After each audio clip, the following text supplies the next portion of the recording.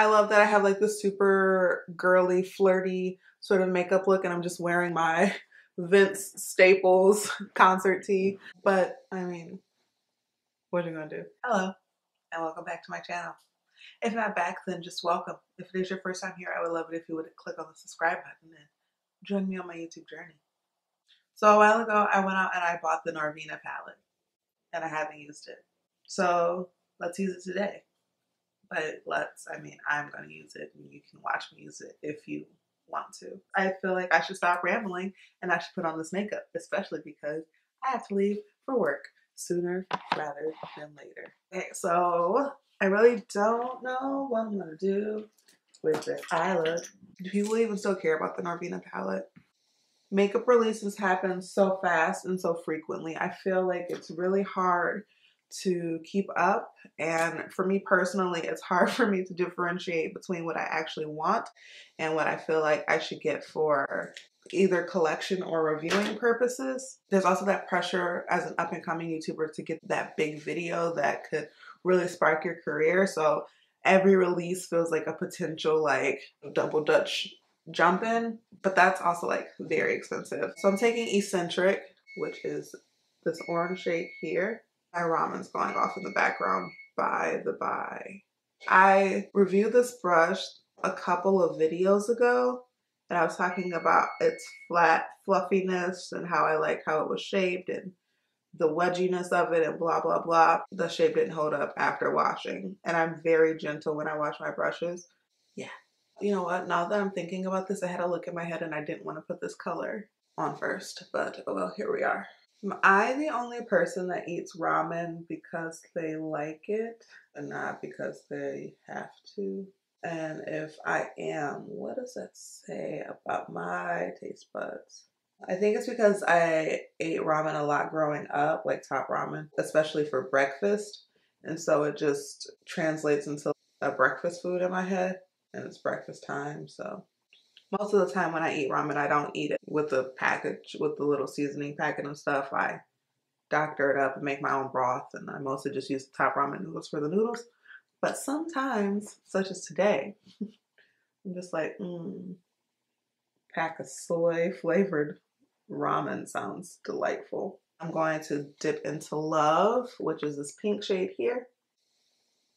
And I'm just going to put that a little bit lower in the crease. Yeah, I wanted to do this in reverse. Dang it! I wanted to do Love on top.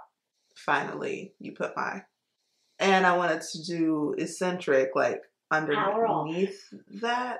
I gotta start turning my Bluetooth speaker off before I start filming. But I forgot that that's what I wanted to do, and so now I'm doing it in reverse, and I don't hate it, but I don't love it. This is the um, only Anastasia palette I have outside of Modern Renaissance, and I feel like a lot of people have mentioned how since Modern Renaissance, their shadows have just gotten more and more powdery, and this is like insanity. Like this is an insane amount of kick up. I don't mind kick up. I don't mind fallout. It usually doesn't bother me, but I feel like so much of the product is being wasted because see if I can get this to focus. Like you see all of that and I'm not a swirler, I'm a tapper. I don't like dig my brush into my shadow and just like so I don't know how I feel um, I love how it looks. Like these are blending together so beautifully. It looks really nice, but that amount of kick up feels like a waste because I can't use that. And I feel like that's a lot. I 100% bought this palette for the shimmers. They are so soft. They are literally the softest powder shadows I have ever touched in my entire life. And they swatch so beautifully. I know that swatches don't always translate to actual performance of the shadow, but they just feel so nice. I'll just swatch a few so you can see. This is Dazzling. It's like a beautiful taupey shade, which is like kind of my jam right now. Here is Rose Gold, which is, you know, Rose Gold. This is Celestial, which is one of the purple shimmered and they're just so soft. If it's not not too much of like a thing, I highly recommend going into your local Sephora and just touching these because they're just, they're so nice. They're so nice. I think I'm actually just going to take the brush that came with the palette and I'm going to go into Summer, which is just like this beautiful pale gold shade. And I'm to put that on my lid. Okay. Wow. This is so pretty. You guys, I need to talk to you. Seriously. Can we just... Okay, can you focus? Thanks, camera. Can we... I mean, I have never used a press shadow that stunning in all of my days. That whole, like, kick up problem is not as present in the, shimmers, which I'm glad of. Okay, so now that I've done that on just the inner portion of my eye, I'm to go in with the same brush. And I'm to go into rose gold. Rose gold. Oh, that's actually a lot of... Okay. Um, I've never used a pressed metallic shadow that is so impactful before in my life. I'm I'm not over it. And this one is just as pretty. Mm, rose gold seems to be a bit more chunky than summer. Not in a bad way. Like not in a way that I can't work around it. These almost, when you swipe them with the brush, like almost look like a cream. I don't understand this formula in the like most positive way that I could mean that. I do not understand. The real test will be when I go back into that love color to see if I can like really soften the the line between the, the between the metallic and the satin matte because I think love is a satin color because there's like a little bit of a sheen to it but it's not shiny like it's not metallic it's not glittery glittery I think it's just they made it a satin so that it's more emollient as opposed to if it were a true matte I feel like it would be a bit more chalky and harder to blend so I feel like the sheen in love and soul look like they are just there to help them blend better. I'm going to go back in with that love brush and that love color. So now I'm just going to soften the like shimmery part. Let's kick up. Oh, the amount of love that I have for these metallic shadows, I have equal amounts of disdain for the satin formula because I just don't understand why it is so powdery. Okay, going into eccentric, yeah, which seems to be more of a truer matte and not the same problem. And once again, I'm just going over, back over the work that I've already put down just so that it is visible. I have a decent amount of fallout on my face from the metallic shadows, which fallout doesn't bother me because I always do my eyes first and my face second. But if you are a reversal kind of person, then that might be an issue. I'm gonna clean up this fallout before I go into the lower lash line because I don't want to smear that metallic shadow around necessarily. Now that my fallout is cleaned up for the most part, I'm gonna go in with Love. I'm taking Love and I'm putting that underneath my eye. And it's not gonna show up because these dark circles though. But it's fine, we'll make it work. And then with that same brush, I'm gonna go, to go into Eccentric Okay, and then for a finishing touch, I'm gonna go in with this absolutely ridiculously tiny square detailer brush from Real Techniques. Look at how small, look at how tiny, look at how little. Oh, it's such a little baby. And I'm gonna want to summer that gold shade that I used on this part. And I'm gonna put that on the closest part of my lower lash line, my waterline.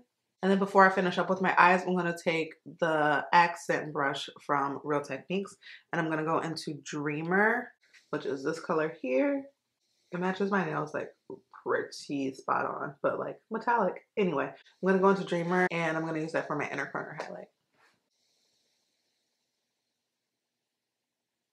We on an ultralight beam.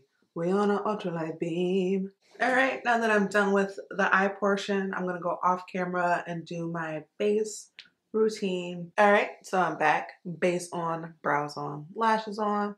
I also did my highlight. I love this. Okay, so now for my blush. I'm going to mix two of the Glossier Cloud Paint blushes. This one is Puff, and it's like a paler pink color. Then this one is Storm, and it's one of their newer shades, one of their more pigmented, more saturated shades that looks absolutely stunning on darker skin tones. The Cloud Paint blushes are my absolute all-time favorite blush formula. I think it's because you can customize the shade to be whatever you want it to be. This is Puff by itself. And then I'm just going to mix a little bit of Storm into that so that it has a more rosy hue to it. So this is a new custom shade. I also love the finish of this blush. It's very, very sheer. It's hard to over apply it. And the finish of it is like dewy. It has that signature Glossier your skin but better sort of finish to it. So it looks like such a natural blush. I'm just gonna go ahead and blend that in with my fingers. I'm just gonna tap so that I don't lose that color.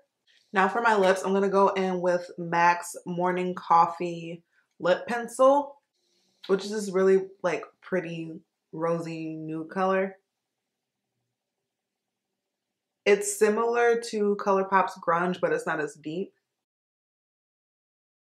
Now I'm going to fill in the whole lip, just doing the outline. And then I'm going to kind of fill in just the sides here. And then I'm going to go over top of that with the Fenty Gloss. Let's see if I can remember this by heart. The Fenty Beauty Gloss Bomb and Fenty Glow. Boom, nailed it. It's only been out for a year. Uh, my lips are so dry. I haven't been putting on my chapstick before I go to bed at night and it has been a mistake. All right, I'm looking a little extra shiny because I went ahead and I set my face with my setting spray. I'm gonna tap to decrease some of that shine. So here is the final look. I'll get a little closer so you can see the eyes a little better. Here's the final look on the eyes. I am so stunned with the quality of these metallic shadows. I try to be really mindful when recommending products because I know how expensive makeup is, but I am not exaggerating when I say I have never used a metallic shadow like the ones in this palette. And I have the Modern Renaissance palette. So I have used their metallic shadows before. I just feel like the formula has changed and these are just so much more foiled looking and so much more metallic looking. They aren't very glittery. These look so beautifully reflective. The overall palette, however, I'm not crazy about the kickback on that satin shadow. That will drive me bananas for the rest of my days. But the pigmentation and the actual blendability of the shadows is really, really nice. I'm excited to play with this palette a little bit more. It's definitely pushing me outside of my comfort zone and I love makeup that pushes me outside of my comfort zone. I've recently fallen in love with cool tone shadows as they make me feel très bouge. But this is more like cool pastel. So that's another step outside of my general realm of comfort. I'm so excited to get into that dazzling shade, that like taupe shade. I can make some very luxe looks with this palette, but I wouldn't rush out and get it. It's not something I feel like you need in your makeup collection. It's not something that I feel like is going to make or break your eyeshadow looks. Anyway, yeah, so this is my look. As always, if you have made it to the end of this video, I appreciate you so, so, so, so, so, so very much. I appreciate you from the very bottom of my heart. In the comments below, tell me what you think about this look. Tell me what you think about the Norvina palette. Tell me if you're interested in buying it or not. All right, till next time. Bye, folks.